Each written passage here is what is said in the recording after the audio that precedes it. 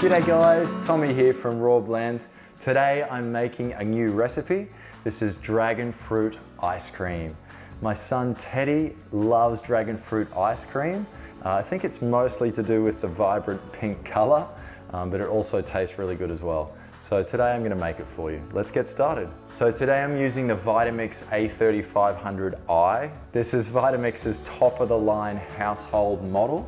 Comes in a stainless steel finish, which looks amazing in any kitchen. So it's really easy to make an ice cream in a Vitamix. Uh, today I'm just using two simple ingredients. So we follow a basic ratio, one part soft ingredients. I'm gonna use the yogurt. This is just some coconut yogurt. And then three parts frozen. I'm gonna be using frozen fruit. So I've got about a cup of coconut yogurt in there, and this is a vanilla coconut yogurt. So it's gonna give our ice cream that nice sweeter flavor. And I'm just using frozen dragon fruit. Now you can actually buy this at Coles or Woolies in Australia now um, in the frozen section.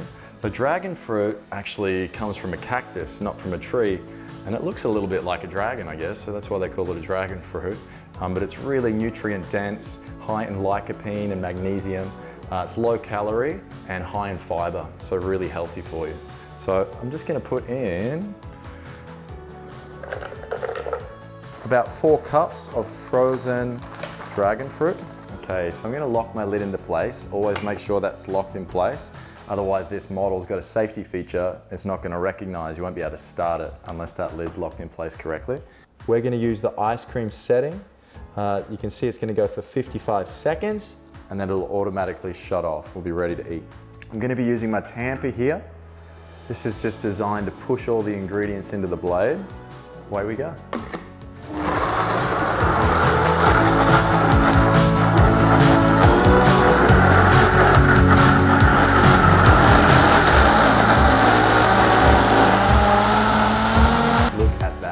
Look how amazing that looks. Two ingredients, coconut yogurt and dragon fruit. So, so good. That's actually thick and frozen inside the container.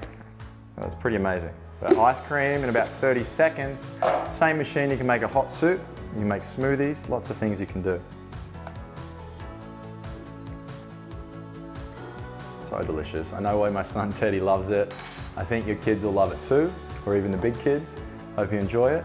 Happy blending.